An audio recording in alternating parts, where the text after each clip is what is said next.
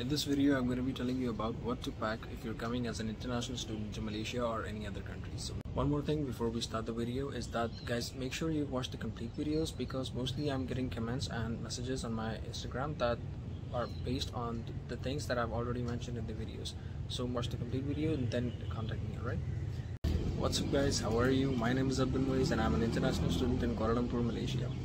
If you're new to my channel, make sure you subscribe and like my videos and uh, check out other videos. I'm going to drop a link in the description. They're based on uh, many topics. I've covered most, like uh, my room. If you want to check out my apartment and the rates in Kuala Lumpur for uh, accommodation of student off campus, also on campus, which is better, and then groceries where you can get them, uh, part-time jobs, what are the opportunities, and what are your monthly expenses, your first month expenses. I've covered them all, so make sure you can check that as well. So let's start. First things first, while packing for Malaysia or any other country, you're coming here and you're gonna live like an hostelite. So if you're new to hostel life, then you should know that first thing you need are the most basic things, which includes your toiletries. So I'm gonna start with you may need to pack your uh, hand soap, then your face wash, your shampoo, your body wash, your toothbrush, and your toothpaste. And uh, with them, make sure you get a bag like uh, a small washable bag which is uh, like waterproof or something. So, so, if you have a bag you can just carry it to the washroom and when you're done you just carry it back to, uh, to your room. After that you're gonna need a to uh, towels. One face towel a small one and then a medium size or large one whatever you prefer. Kitchen appliances. For kitchen uh, what I found handy was a saucepan along with the saucepan you may need two or three plates in which you can eat. Then uh, maybe one or two cup. One cup should be enough. And uh, two to three spoons two to three forks. Then you may need a washing sponge just one. Because uh, the thing is that what I'm mentioning in this video the th all the things are to make your life easier. Because definitely you can get all of these things in Malaysia as well. If you bring these things to Malaysia in the first place then they wouldn't be an additional stress because once you come here you have too many questions and too many things going on. You have to do the university filling your form fillings and everything. You're setting up your classes and you're setting up your room and everything. So if you don't have these basic things you're going to be running to the grocery stores and that will be an additional stress to you that oh i don't have this i don't have this. How my, how, how will i like uh, wash my hands? And it's, it's an additional headache. So bring it with you. It's it's going to be easier. Uh, after that you may need a bowl two to three bowls and uh, maybe one or two clips. I guess that's enough for your kitchen appliances. Then the rest what you need you can buy from here. Alright so uh, we're done with the toiletries and with the kitchen appliances. Now you have your clothing. Make sure you get t-shirts trousers and some shorts for your uh, these will be for your casual use. Like if you're going to going out with your friends or while sleeping in sleeping suits and all these things.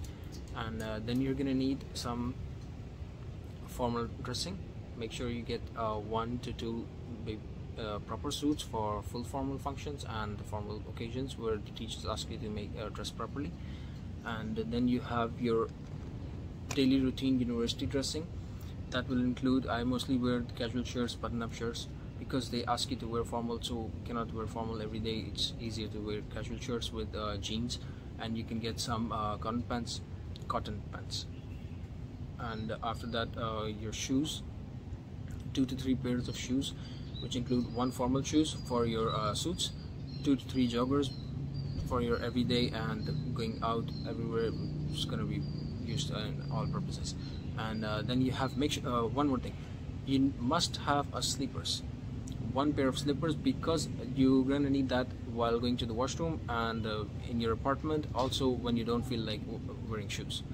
So uh, one pair of slippers is very important then you have your undergarments make sure you have them in good quantity which will last you for a week and then you can do your weekly laundries. Oh uh, one more thing for your clothing. You're gonna need a hairbrush. Yeah yeah. Some hangers. Maybe it depends on how much clothes you're bringing for the shirts because for the pants I don't think you're gonna need hangers.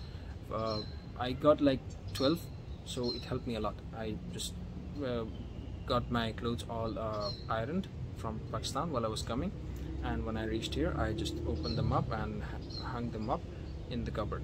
So it's good because you cannot iron every day because you have a tough schedule here as an international student. Also it's tough man. It's not easy to do it every day. So just do it once and then you can last for maybe like a week or two weeks. Then you have to do your laundry and then you can iron them up and then hang them up again. Your tech items your mobile phones make sure you get your chargers. Oh one more thing. In malaysia the switch is a three pin but it's a different one. The three pin it, it's not the same in we use in pakistan and in india.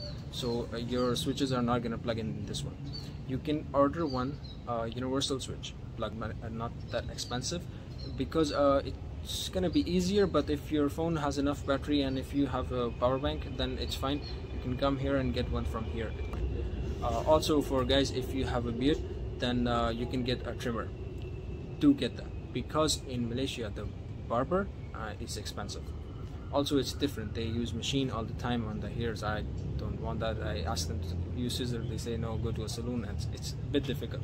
So if you have a beard uh, and you have a trimmer then you can just groom it regularly maybe two or three days. So it's gonna be easier and cheaper. If you don't know how to use a trimmer then learn how to use it. Also if you can get some uh, two to three packets of noodles instant noodles so that uh, on the first day or second day you can cook them.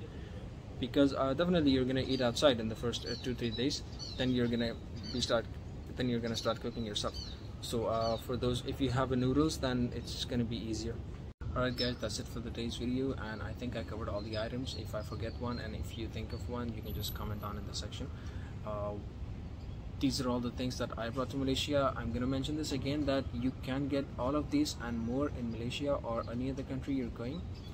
But if you bring them with you it's gonna be very convenient for you. And for your toiletries like uh, face wash and your shampoo and everything it they depend on the things that that suit you.